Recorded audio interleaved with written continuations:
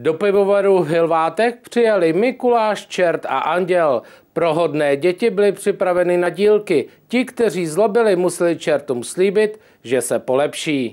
Třebovskou ulicí přijel koňmi tažený kočár, na kterém jeli Anděl s Mikulášem doprovázený dvěma čerty. Po příjezdu na místo se desítky rodičů se svými dětmi vydali na nádvoří pivovaru, kde Anděl s Mikulášem dětem rozdávali na dílky. Některé děti prý ale zlobily. Ale já to na tobě vidím. Mám tě do pytle? A budeš hodnej? Opravdu?